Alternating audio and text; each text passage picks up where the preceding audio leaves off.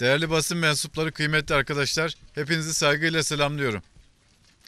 Sayın Cumhurbaşkanımızın yol medeniyettir diyerek bizlere açtığı yolda vatanımıza ve milletimize kar kış gece gündüz demeden hizmet vermeye devam ediyoruz. Belirlediğimiz yol haritasıyla yapılan her kilometre yolla, köprüyle, viyadükle ülkemizin dört bir köşesini bayındır kılıyoruz. Yatırımlarımızın toplamsal refahın yükseltilmesinde önemli kilometre taşlarından biri olduğunun bilinciyle hareket ederek doğu batı, kuzey güney demeden ülkemizi baştan başa yüksek standartlı yol ağıyla kuşatıyoruz. Bu itibarla şu an inşaat çalışmalarını yerinde incelediğimiz Eisle Hadimi Viyadüğümüzde ülkemizin ulaşım alanında yapımı devam eden önemli projelerden birinin şantiyesindeyiz şu anda. Türkiye'nin en yüksek ayaklı köprüsünü inşa ederek Toroslara adeta bir mühür vuruyoruz. Akdeniz bölgesiyle İç Anadolu bölgesini kesintisiz şekilde birbirine bağlıyoruz.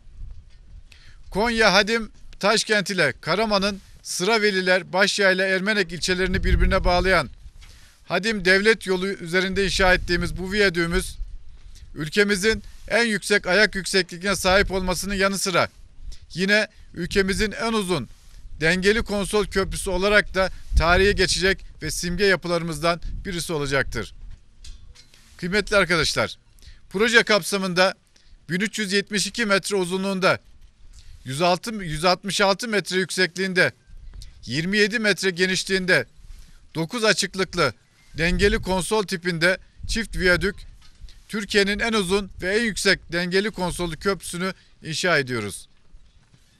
Yapım çalışmaları kapsamında kenar ayaklar ve orta ayaklarda temel ve elevasyonlar imalatları sol eksende üst yapı imalatlarının tamamını bitirdik.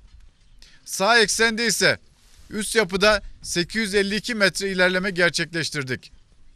Yani toplamda sağ ve sol köprüde 2224 metre üst yapı ilerlemesine karşılık projede %72 gerçekleşme sağladık.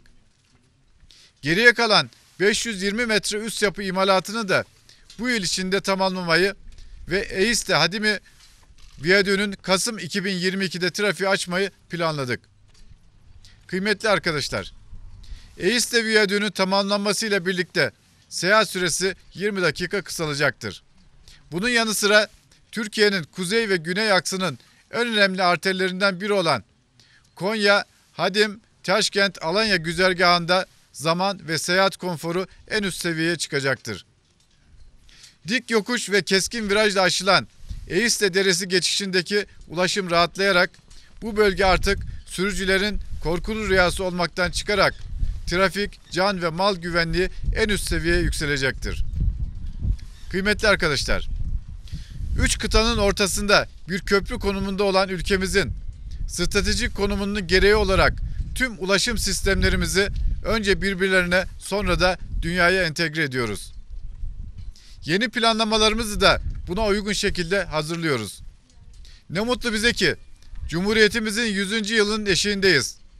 Projelerimizde de ulaşım, lojistik ve haberleşmede ülkemizi bölgemizinde lider, dünyada da önemli bir kavşak noktası haline getirdik ve bu konumuzu korumaya devam edeceğiz.